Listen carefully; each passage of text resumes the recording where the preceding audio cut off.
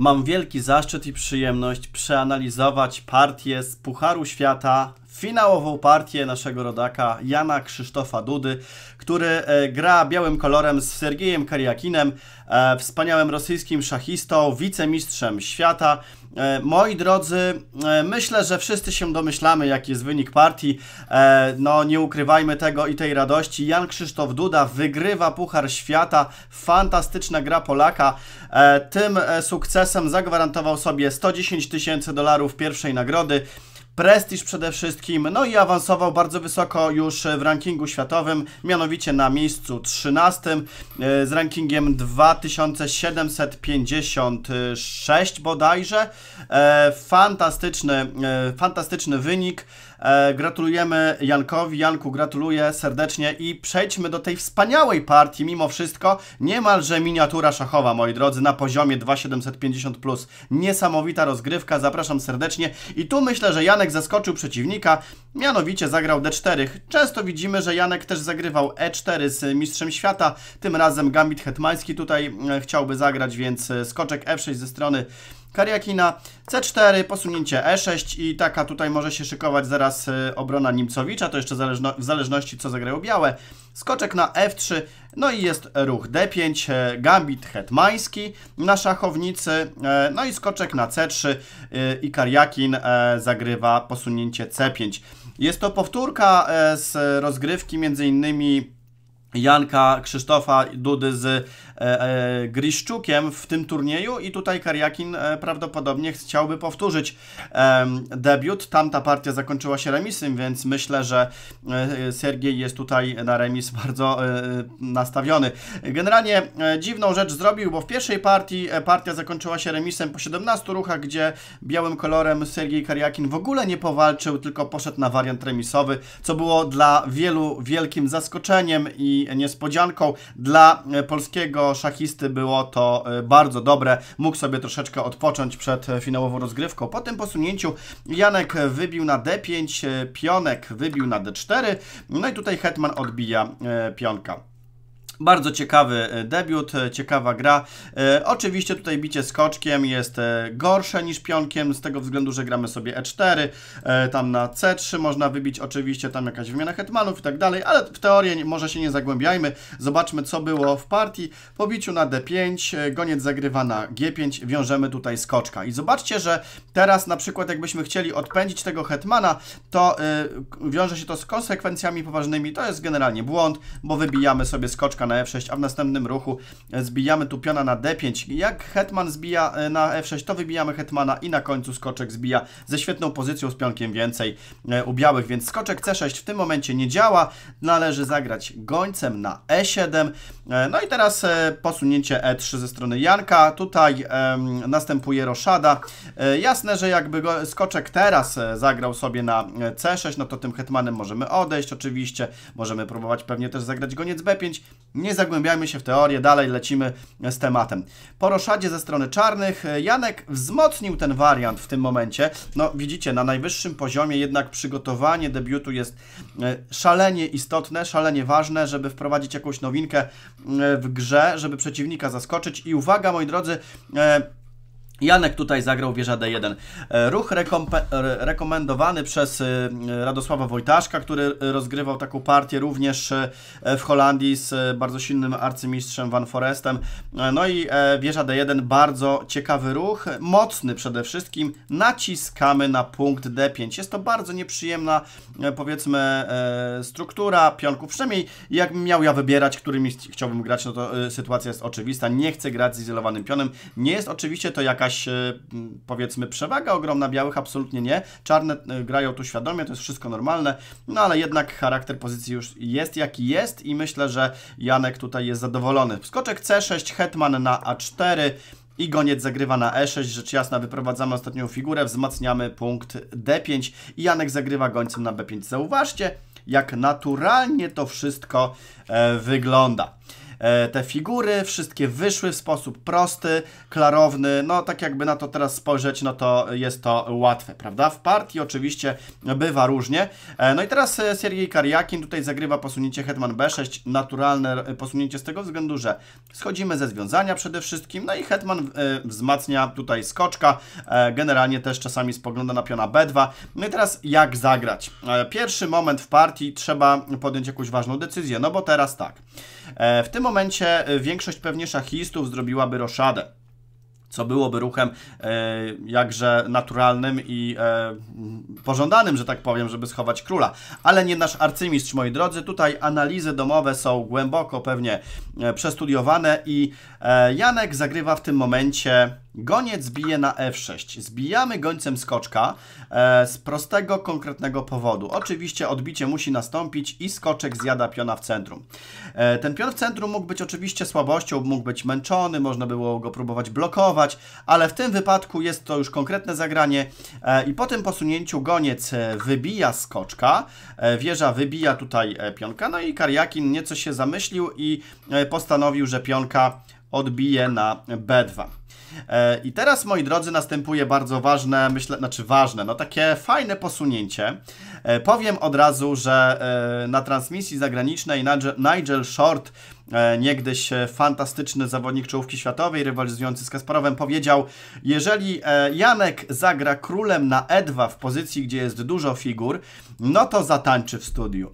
No i tak się, moi drodzy, stało. Janek zagrywa królem na E2, Short musiał nieco zatańczyć. Szkoda, że zrobił to na siedząco, aczkolwiek e, słowa dotrzymał. E, no ale tutaj wiadomo, żarciki e, między szachistami.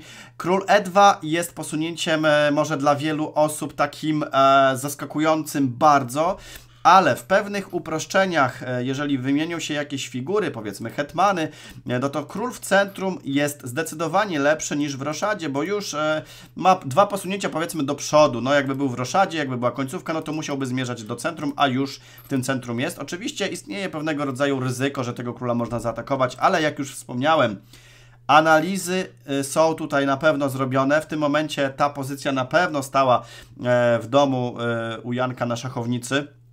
No i e, gramy dalej. Moi drodzy, goniec wrócił na F6 i wieża pięknie szybko wleciała na, na D1. Jak już się udało ustawić wieżę na e, wolnej linii, to ten król ma możliwość oczywiście w razie czego schowania się tutaj do obozu e, za piony, lecz nie ma takiej teraz potrzeby. I teraz, moi drodzy, no jak grać tutaj Kariakin ma ciężki orzech do zgryzienia, e, gdyż e, no wszystko jest porówno. E, ja tu bym na przykład próbował grać wieżą z A na D8, próbował jakiś tutaj akcji, ale działają tu na pewno jakieś tam niuanse, powiedzmy wieża D7 jest ciekawym e, zagraniem. Kariakin jednak zagrywa wieżą na C8 i wydaje się to też logicznym zagraniem z tego względu, że wieża może ma plany wejść w przyszłości na pole C2 i atakować króla. Poza tym obrona skoczka na C6 to też jest chyba dosyć istotne. I teraz trzeba wybrać po raz kolejny jakiś ciekawy, dobry plan. Moi drodzy, Janek zagrywa gońcem na C4 i bardzo y, dobre posunięcie. Zresztą tu wszystkie ruchy, które nasz arcymistrz zagrywa, one są nad wyraz poprawne, nie ma żadnych błędów, więc strasznie ciężko tutaj e, Kariakinowi pewnie jakoś zagrać. Poza tym stres, finałowa partia, e, no niesamowita gra. Tutaj zobaczcie, Hetman zagrywa na B4, próba wymiany Hetmanów. Kariakin generalnie słynie z tego, że jest bardzo dobrym defensywnym zawodnikiem i potrafi się niezwykle dobrze bronić. W tym wypadku tutaj Hetman zagrał na B3, wymiana i oczywiście pionkiem nie wybijamy, tylko gońcem, żeby w razie czego mieć jeszcze pod kontrolą pole C2, żeby, ten, e, żeby ta wieża nie wskakiwała. I teraz, e, moi drodzy, Jan, e, Janek, Sergiej Kariakin zagrywa prawdopodobnie no już takie posunięcie bardzo pasywne i jest to ruch skoczek na B8. Obrona punktu D7 tylko i wyłącznie. No jak się figury już wycofują, to nie wróży nic dobrego. E, jak można by było na przykład zagrać inaczej? Powiedzmy powierza D8, co się narzuca. No wymiana wież do końca nie jest najlepszym wyborem, ale jest wieża D7. I tutaj widzimy, że naciskamy bardzo mocno na punkt F7, naciskamy na punkt B7. Niesamowita sprawa, bardzo dobra pozycja białych byłaby na szachownicy. No cóż, wróćmy do e, pozycji z partii. Skoczek zagrał na B8 i teraz należy m, mm, po raz kolejny znaleźć ciekawy plan. Można spróbować zatrzymać materiał i poszukać, jaki ruch wykonać, żeby tutaj próbować zdobywać coraz większą, coraz większą przewagę białymi. Otóż jest to posunięcie G4. Bardzo ładny ruch, no zresztą widzimy, trochę zachwalam tutaj, gloryfikuję Janka, e, lecz e, nie bez powodu, moi drodzy. Wszystkie jego ruchy są tutaj nad wyraz dobre. G4 powoduje to, że próbujemy zagrać sobie G5 i strasznie ograniczać skrzydło e, królewskie.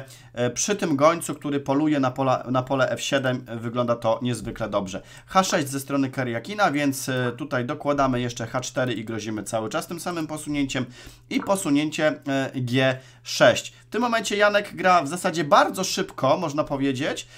G5 zostaje zagrane od razu, wybicie i od razu nastąpiło wybicie na G5, ale pragnę też się na chwilę zatrzymać, bo dosyć ciekawym ruchem nawet byłoby zagranie skoczkiem, chociaż e, silnik mówi jedno, ale człowiek robi drugie i myślę, że e, ponad 90% osób zbija tutaj pionkiem na G5, lecz bardzo ciekawym też ruchem byłoby coś takiego, mianowicie H5.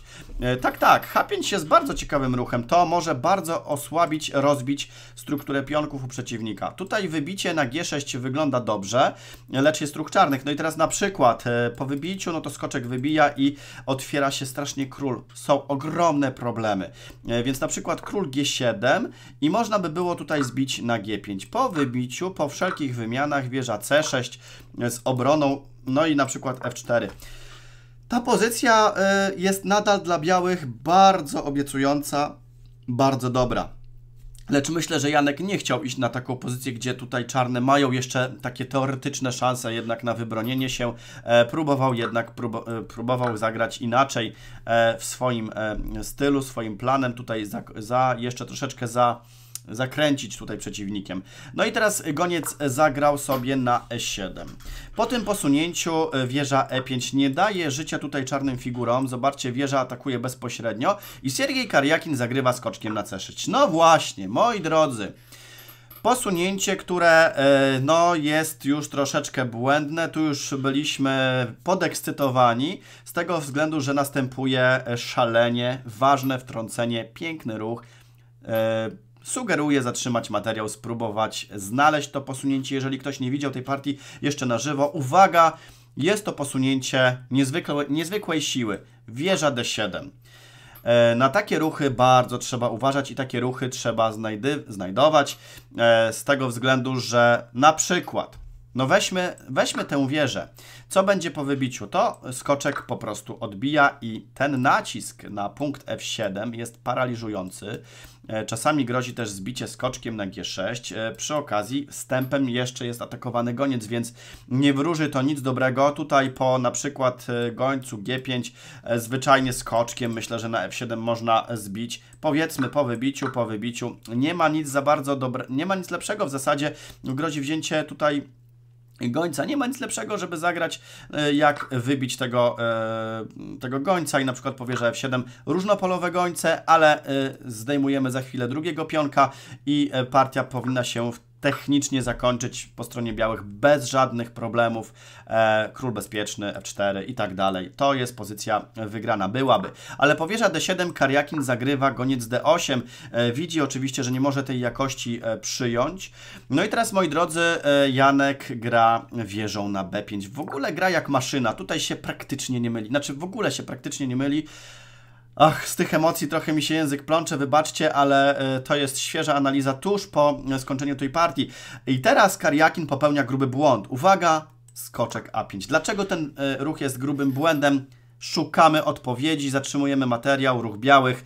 Otóż, moi drodzy, wprawdzie tak w partii nie poszło, ale Janek mógł tak zagrać. Prostym zagraniem byłoby wzięcie gońca na D8.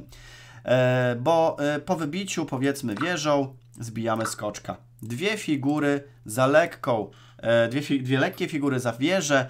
Jest to ogromna przewaga jeszcze z tego względu, że ten pionek jest sparaliżowany. Jakieś proste plany, na przykład takie, na przykład tu grozi bicie, skoczek E5 z naciskiem, no samograj. To jest pozycja totalnie wygrana. Byłaby totalnie wygrana.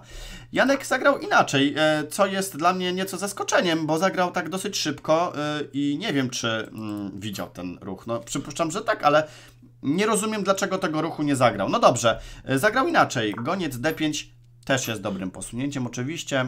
To było lepsze, ale to też paraliżuje przeciwnika. Zobaczcie, goniec jak świetnie kontroluje tutaj te pola, gdzie nie może nigdzie skoczek się poruszyć. Totalna miazga się robi.